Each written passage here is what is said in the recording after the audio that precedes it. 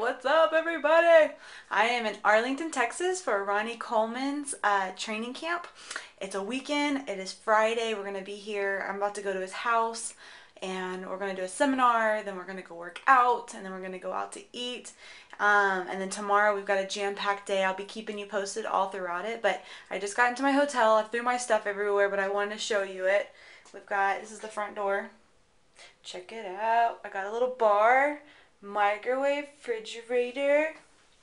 Come through here. Got my couch so I can parlay. I got a desk, which is really nice.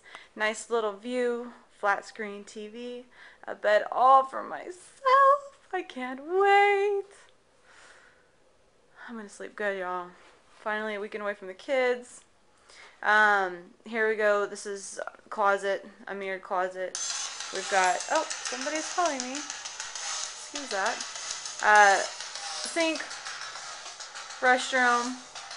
That's a wrap. I plan to learn a lot of stuff. Um, I'm going figure this year, so I'm going to take a lot of notes. I'll be sharing it with you and uh, stay in touch. All right, bye.